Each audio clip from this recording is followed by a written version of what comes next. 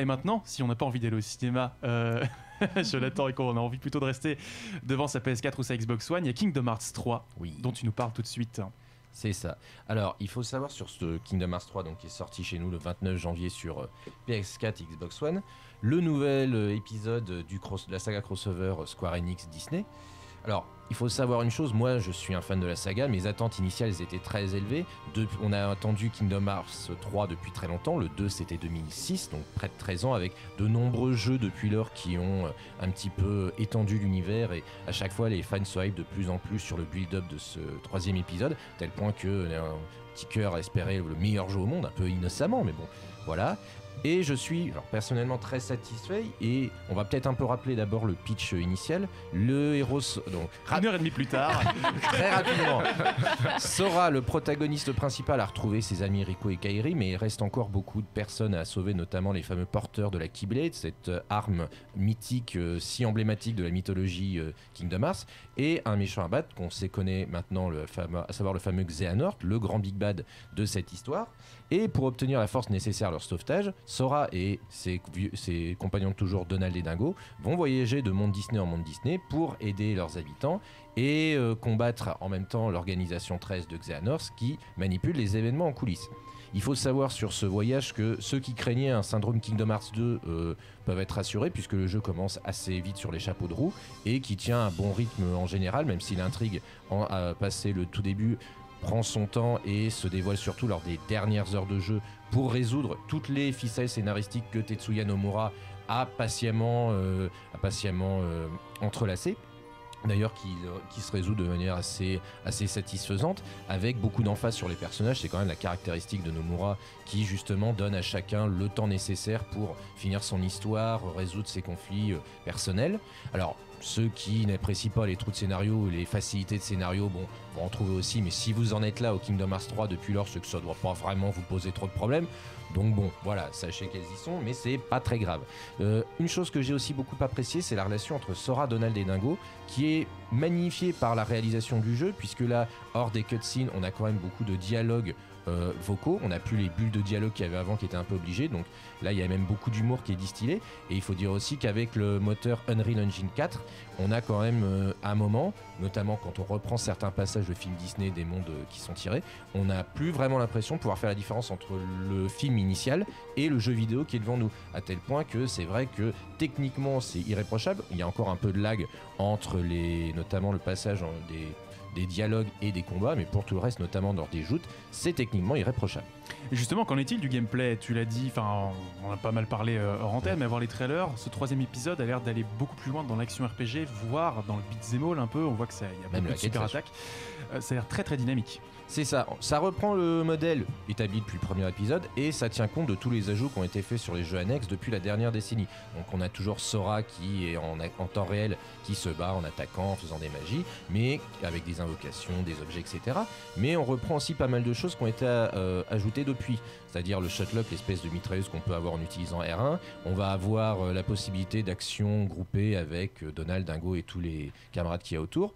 Il y a l'arrivée de, donc des keyblades évolutives qui peuvent accéder pas mal d'armes. Au lieu d'avoir la keyblade, on peut se retrouver une sorte de marteau avec des gants qui euh, donnent pas du tout le même feeling et qui sont très, enfin, je trouve personnellement très très euh, euh, très très fun en fait à utiliser. Et les fameuses attractions Disney qui avaient surpris tout le monde au moment où elles étaient annoncées, mais qui sont très très là aussi très amusantes à utiliser et c'est toujours très il y a toujours un, un- un pincement au cœur quand tu tues un boss euh, très très important très fort avec le carrousel magique de Disneyland. C'est quand même très très beau. Sur les mondes eux-mêmes ils sont peu nombreux, moins nombreux qu'avant, mais ils sont plus grands et vraiment très très grands. C'est-à-dire non seulement ils sont étendus et très intéressants à explorer, il y a pas mal de choses à trouver si on veut sortir des sentiers battus, mais en plus ils sont très grands, c'est-à-dire que comme on peut monter sur pas mal de murs, on se retrouve avec des joutes, on peut aller sur euh, quasiment des immeubles en très peu de temps, en sautant, voire euh, en se baladant. Et euh, donc voilà, le gameplay est encore plus, plus jouissif qu'avant. Tu disais beat'em all, mais c'est carrément du hack and slash à certains moments, c'est-à-dire qu'on enchaîne les ennemis à tuer et c'est très agréable.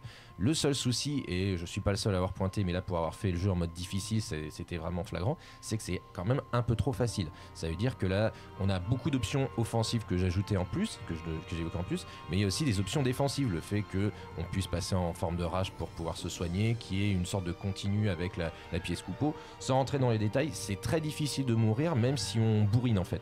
Donc il a le, les joueurs qui attendent du challenge, même s'ils vont tout bien sûr à- à- adorer le gameplay, ils se retourneront plus vers les défis annexes qui sont euh, assez nombreux, assez variés et souvent plus durs que le gameplay lui-même.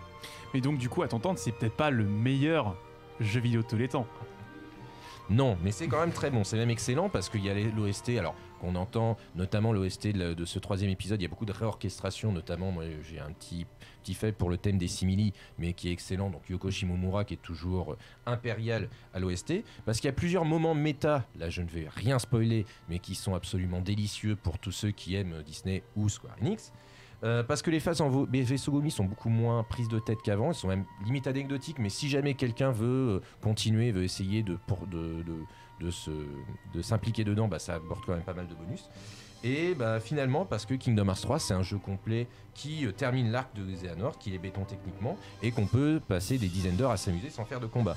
Cela dit, pour être honnête, c'est vrai qu'à titre personnel, je le, le meilleur jeu du monde, et je ne le mettrais peut-être même pas comme mon Kingdom Hearts préféré. Je garderais peut-être le 2 parce que malgré l'introduction un peu laborieuse, il y avait une progression euh, beaucoup plus euh, fluide que j'ai pas ressenti là. Mais là, après, c'est du pinaillage.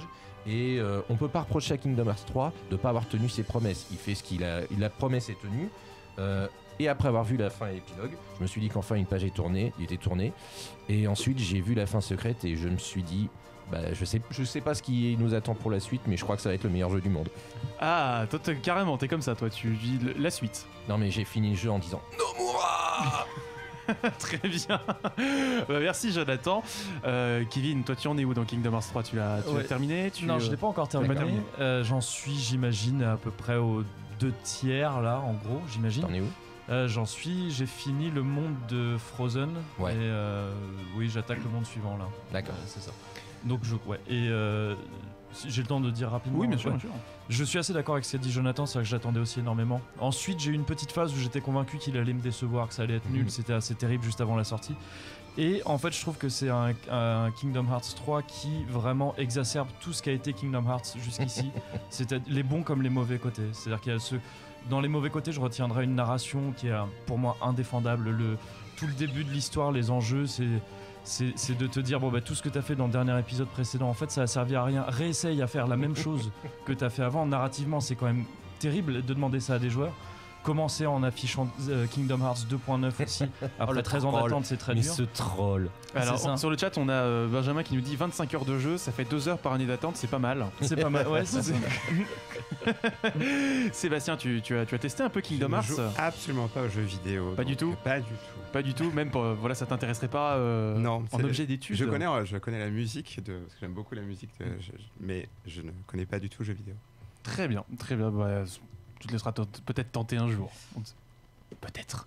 On ne sait pas. Vous êtes un petit peu joueur, joueuse de Kingdom Hearts euh, Ouais, bien sûr. Lorraine Oui, Grégoire Ouais, bien sûr, ouais, quand même. Bien sûr. Ouais, bien sûr. Alors Alors, sur celui-là, j'ai quelques réserves quand même. Le côté euh, euh, trop facile.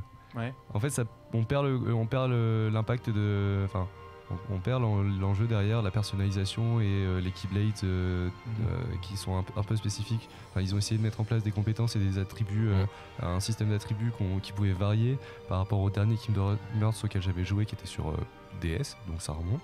Ah oui. Mais et en fait, bah, comme c'est trop facile, on peut prendre une, key- on peut débloquer la meilleure keyblade et puis bourriner et aller jusqu'au bout. Donc le, Enfin, build est un peu artificiel, tu veux Ouais, dire. c'est un peu, c'est un peu un enrobage là pour le coup.